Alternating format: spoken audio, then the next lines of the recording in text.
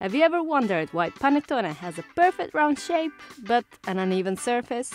It all has to do with the way it is prepped before going into the oven. It has to go through a very important step called pirlatura. This movement gives panettone the strength it will need to grow in the oven. The dough is so strong now that it needs a little something to point it to the right direction, which is upward. This is when molds come in, called pirottini in Italian. This process, when the dough is cut in the shape of a cross, is called scarpatura and is a sign of a true Milanese panettone.